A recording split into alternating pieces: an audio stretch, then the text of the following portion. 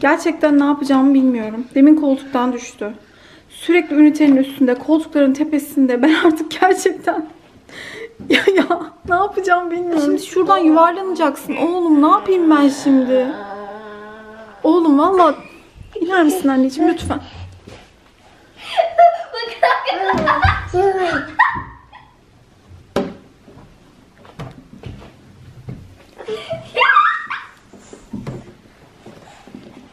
Sanırım merhaba demedim ben sabahtan beri. Sabah güya sessiz vlog çekecektim.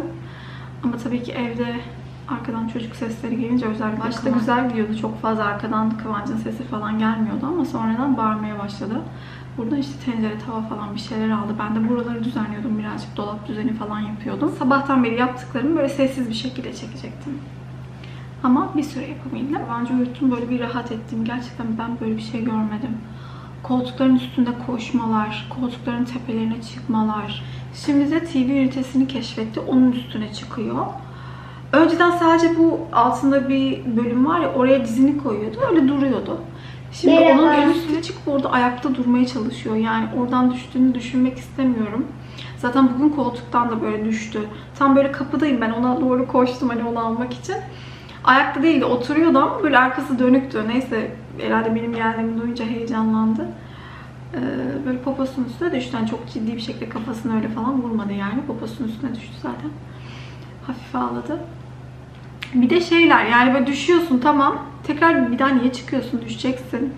Düşmüşsün, tecrübe edinmişsin. Bir daha niye çıkıyorsun?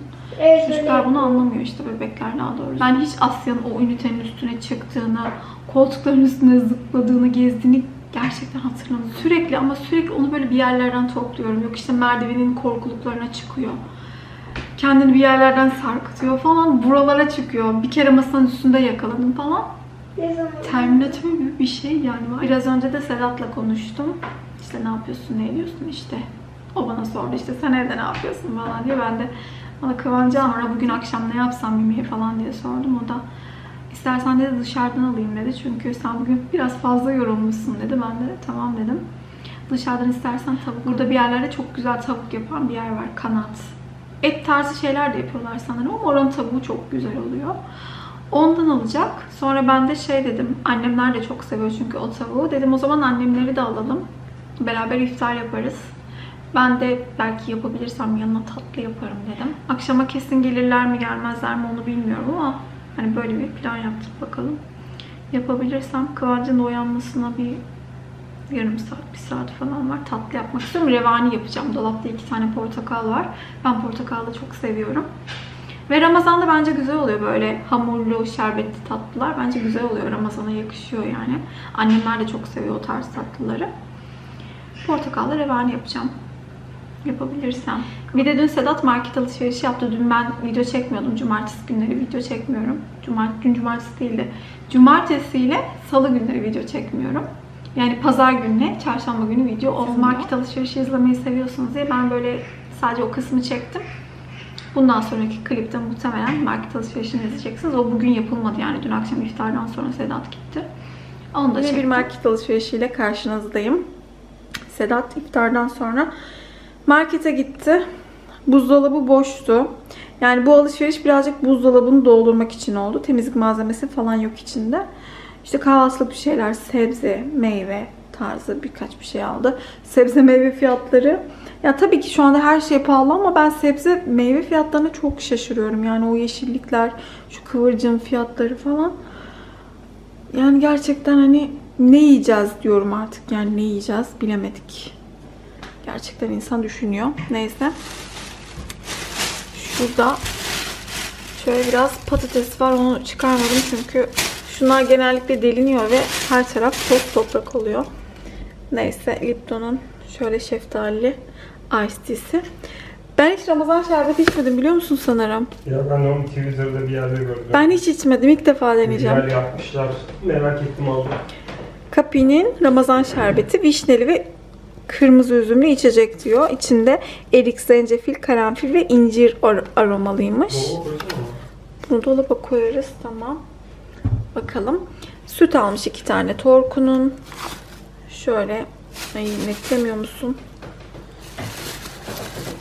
Bir tane krema. Ekici'nin klasik beyaz peyniri. Biz bunu çok beğendik. Özellikle Sedat çok beğendi. Tekrar almış sanırım çok beğendiği için. 45'e düşmüş. Kaçtı? 45 mi ne? Hmm, 45 liraymış bu böyle. Sonra işte kek falan almış. Pötinin. Sanki Pöti, Pötinin değil. Pötü diye bir marka yok.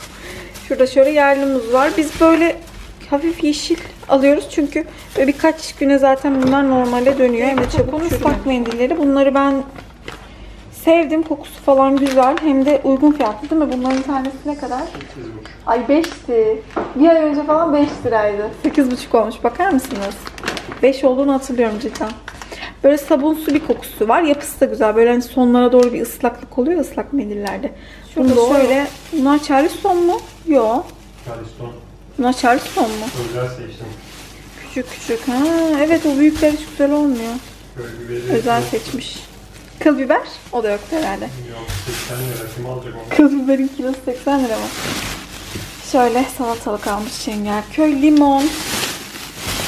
Kokteyl domates. Şöyle iki tane aç bitir. Bir değişiklik oluyor ya sofrada. Şöyle sosis. Bunda yine ya sotesini yaparım ya yumurtalı yaparım ya sade pişiririm. Ana varzanın balı. Süzme çiçek balı. Asya her gün bir bardak süt içiyor ballı mutlaka. Onun bu sütü olması gerekiyor ballı. Sütaş'ın kaşar peyniri. Ondan sonra şurada kıvırcık var. Ben bunları bugün yapabilir mi bilmiyorum. Belki yarın yaparım. Güzelce yıkayıp kurutup poşetleyip buzdolabına kaldıracağım.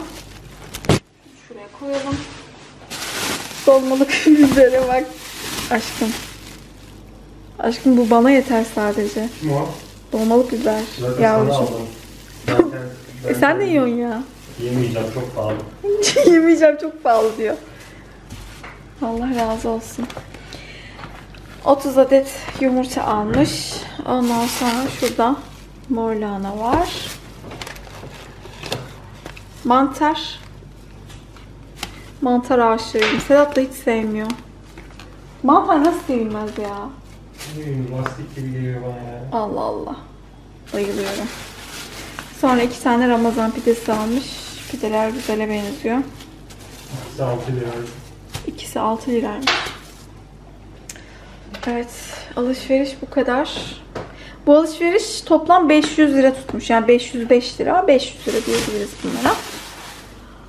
Kesene bereket. Tatlıma giriştim. Önce şerbetimi yapıyorum çünkü revani ılık. Şerbetin soğuk olması gerekiyor. 3,5 su bardağı şeker, 4 su bardağı su. Ve şöyle ince bir dilim limon attım. Bunu böyle önce kaynamasını bekleyeceğiz. Ondan sonra 10-15 dakika falan kendi kendine böyle bir fokurdayacak. Ondan sonra da soğumaya bırakacağım. Şimdi kaynamasını bekliyorum. Bir tane yumurtamı kırdım. Şöyle bir su bardağından biraz az toz şeker. Bir tane vanilya.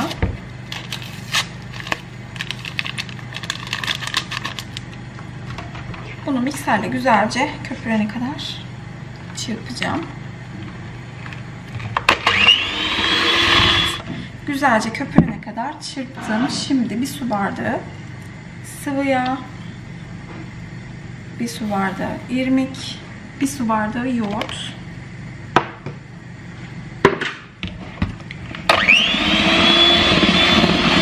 Şöyle bir portakalın kabuğunu rendeliyorum.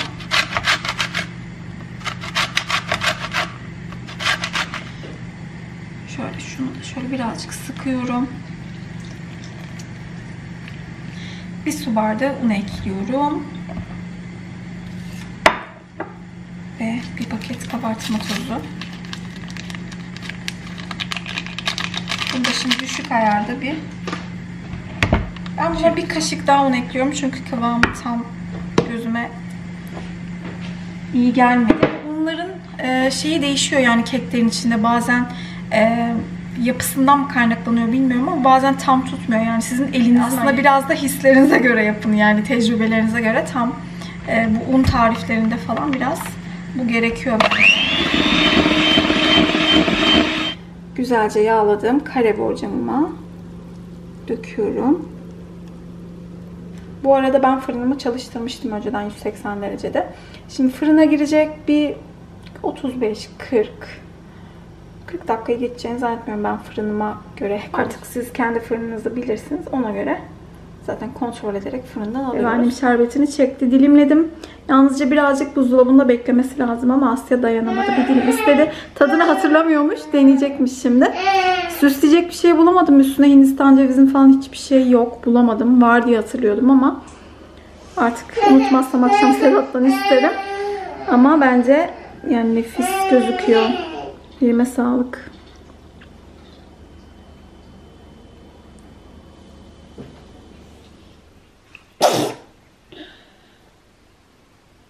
Anne, deniz otları.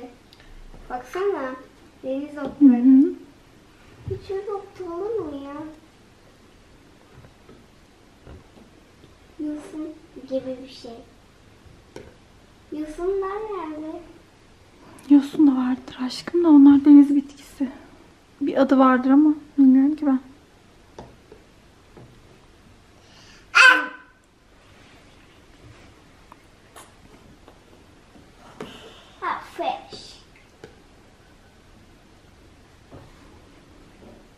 Böyle bekçilik yapıyorum. anne balığın, Çıkma çıkma deyince anlamıyor ki çünkü. balığın İngilizcesini söyleyeyim mi? Söyle aşkım. Fish.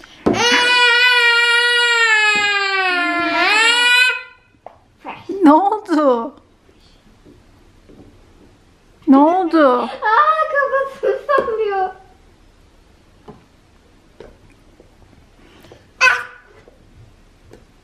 Bunlarla çok güzel oynuyor. Onlarla kule yapıyor, yan yana diziyor. Hatta sabah story paylaştım Instagram'da. Onları böyle tek tek getiriyor, buraya koyuyor. Planda ufak bir değişiklik oldu. Annemler gelemiyormuş. Artık başka zaman. Kamera en son ne zaman elimdeydi? Sanırım Sedat gelecekti. Bir 15 dakika sonra falan geldi en son kapattıktan sonra. Sonra kameramın şarjı bitti. Yedek bataryamı da maalesef doldurmamışım. O yüzden o kısımları çekemedim. İşte iftarı falan yaptık. Çay faslı oldu. Tatlı yedik. Hatta ben de ikinci dilimi yiyorum. Güzel olmuş. Severim portakal revaniyi. Saatlerdir çay içiyorum. Bilgisayarımı açtım. Edit yapmayacağım ama. Netflix açtım ve film izlemek istiyorum. Ve korku filmi. Ama ne izleyeceğimi bilmiyorum. Ben daha çok korku filmlerinde, bu arada ben korku film izlemeyi çok severim.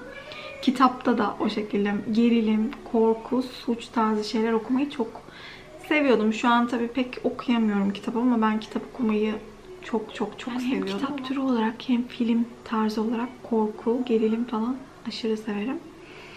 Bir de korku filmi şöyle severim. E, Böyle perili, hani görünmeyen varlıklı falan böyle hani daha böyle daha sessiz ilerleyen korku filmlerini değil de canavarlı, değişik varlıklı, daha böyle kanlı, vahşetli falan filmleri daha çok seviyorum. Ve bayağıdır da korku filmi izlemediğimi fark ettim. Şimdi araştıracağım internetten kapanışı da yapayım çünkü uyuyabilirim, size hoşça kalın demeden kapatabilirim. O zaman zaten direkt hoşça kalın yazıyorum. Orada bilin ki ben uyuyakalmışım, kapanış yapamamışım, bir şey olmuş yani. Ee, Umarım severek izlemişsinizdir. Kendinize çok iyi bakın. Hoşça kalın. Tekrar görüşmek üzere yarın. Bay bay.